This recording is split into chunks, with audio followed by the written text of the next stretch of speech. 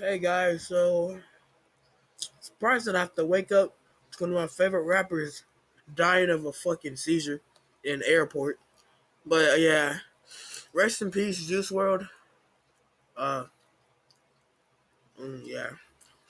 Um, I gotta realize this man, he he died while being bullied about his fucking weight, nigga. That's sad. Uh, here's everyone saying rest in peace. And yeah. This is really sad. I just saw him on uh, that show called like Hot and Wild. I don't fucking know what it's called. Uh, what's it called? Let me try to find it. Okay, I got it mixed up with Wild 'N Out. It's called Hot Ones.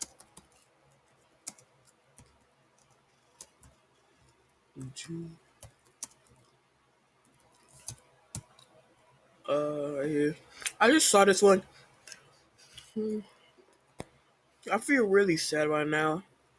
I don't sound sad, but I- am really sad, bro.